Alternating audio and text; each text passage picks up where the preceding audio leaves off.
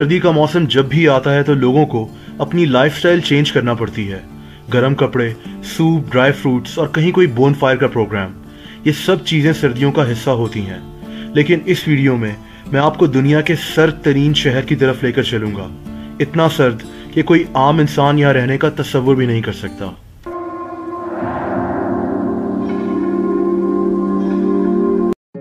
दोस्तों, रशिया के सूबे साइबेरिया के एक सुनसान इलाके में एक छोटा सा शहर आबाद है। इस शहर का नाम ओएमिया कौन है? इसकी आबादी सिर्फ़ 900 लोगों पर मुश्तमिल है और उसकी वजह यहाँ का मौसम है। ये दुनिया का ठंडा और सर्द तरीन शहर है।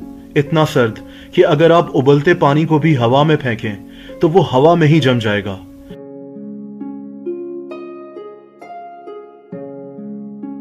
इस शहर का सबसे कम टेम्परेचर 1920 में minus seventy one degrees record हुआ था। दिलचस्प बात यह है कि ओएमिया कौन का मतलब वो पानी है जो जम नहीं सकता। लेकिन ये शहर अपने नाम से बिल्कुल मुख्तलिफ़ है। ओएमिया कौन जाने के लिए रशिया के शहर युकुत से दो दिन लग जाते हैं। इस शहर की तरफ़ जाने वाली बर्फीली सड़क 1200 किलोमीटर लंबी है। इस सड़क को सोवियत यूनियन, यानी उस वक्त के रशिया के लीडर जोसेफ स्टेलिन ने बनवाया था।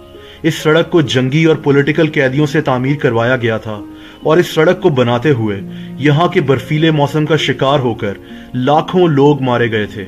इसीलिए इस सड़क को रोड ऑफ़ बोन्स भी कहा जाता है। ओएमिया कौन के शहर में एंटर होते ही एक छोटा सा स्क्वायर नज़र आता है, जहाँ एक बुल बना हुआ है और एक बोर्ड लगा है जिस पर इस शहर में रिकॉर्ड होने वाला सबसे कम टेम्परेचर लिखा हुआ है, जो कि minus seventy one point two degrees है। इस शहर में कोई होटल या रेस्टोरेंट मौजूद नहीं है और बाहर से आए हुए मेहमानों को किसी के घर में ही रुकना पड़ता है। लेकिन इतने सर्द मौसम में जहाँ हर वक्त फ्रॉस्ट बाइट का खतरा रहता है, आखिर लोग रहते कैसे हैं? दोस्तों ओएमिया कौन के घरों में वाटर पाइप्स नहीं होते, क्योंकि पानी उसी वक्त जम जाएगा। इसीलिए यहाँ के लोग नहा नहीं सकते, क्योंकि उसके लिए काफ़ी ज़्यादा पानी की ज़रूरत होती है। यहाँ सब्ज़ियाँ वगैरह उगाना तो इम्पॉसिबल है। इसीलिए ये लोग घोड़ों को पालते हैं और ज़्यादातर इन्हीं घोड़ों का गोश्त खाकर गुजारा करते हैं। इस शहर का टेम्परेचर अगर माइनस फिफ्टी फाइव डिग्री से ज़्यादा हो, तभी बच्चों को स्कूल जाने की इजाज़त होती है। वरना माइनस फिफ्टी सिक्स या उससे नीचे के टेम्परेचर में बच्चे बाहर निकले तो उनकी जान को खतरा हो सकता है। ओएमए कौन में अक्टूबर से मार्च तक दिन सिर्फ़ तीन घंटे का होता है। और बाकी महीनों में दिन काफ़ी लंबा हो जाता है, जो कि 21 घंटों तक पर मुश्तमिल हो सकता है। इस शहर में गाड़ियों को स्टार्ट करना बेहद मुश्किल है। गाड़ियों के फ्यूल टैंक्स जम जाते हैं। बैटरीज बहुत जल्दी खराब हो जाती हैं। अगर लोग गाड़ियों में सफ़र ना करें और पैदल घूम रहे हों तो इनकी पलकें तक फ्रीज हो सकती हैं, जो कि बेहद तकलीफ़ दे होता है। लेकिन यहाँ के लोगों के लिए सबसे मुश्किल चीज़ किसी मुर्दे को दफनाना है।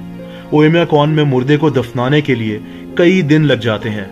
यहाँ की बर्फीली ज़मीन को खोदना ही इंतहाई मुश्किल काम है और इसमें काफ़ी दिन लग सकते हैं। दोस्तों, यहाँ पर रहने वाले लोगों की मुश्किलात यहीं खत्म नहीं होती, बल्कि पेन की इंक, चाय और दूध जैसी चीज़ों को इस्तेमाल करना भी बेहद मुश्किल है, क्योंकि एक मिनट से कम में ये चीज़ें जम सकती हैं। बच्चों को घर के बाहर किसी भी मेटल को छूने से मना किया गया है, वरना मेटल से चिपक कर कोई भी इमरजेंसी हो सकती है। सोवियत यूनियन के रूलर जोसेफ स्टेलिन के दौर में, इस जगह को डेथ रिंग कहा जाता था और इस जगह पर कैदियों को सजा देने के लिए भेज दिया जाता था। दोस्तों, अब इस शहर की आबादी कम होती जा रही है। कुछ रिपोर्ट्स के मुताबिक, अब यहाँ सिर्फ़ पाँच लोग ही बचे हैं और इस शहर की कई इमारतें अब खाली होती जा रही हैं। यहाँ पर रहने वाले लोग आइस फिशिंग का शौक भी रखते हैं और बर्फीली ज़मीन के नीचे बहने वाले पानी से मछलियाँ पकड़ते हैं।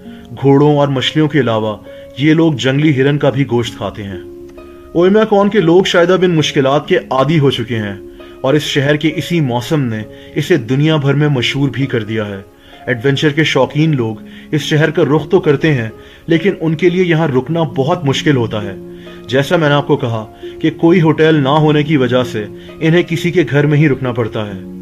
दोस्तों, अगर आपको वीडियो पसंद आई हो तो इस वीडियो को लाइक करना मत भूलिएगा। ऐसी इंटरेस्टिंग वीडियोस को देखने के लिए इस चैनल को सब्सक्राइब कर लें और बेल आइकन को भी प्रेस कर दें, ताकि इस चैनल की सारी नई आने वाली वीडियोस के नोटिफिकेशंस आपको मिल जाया करें।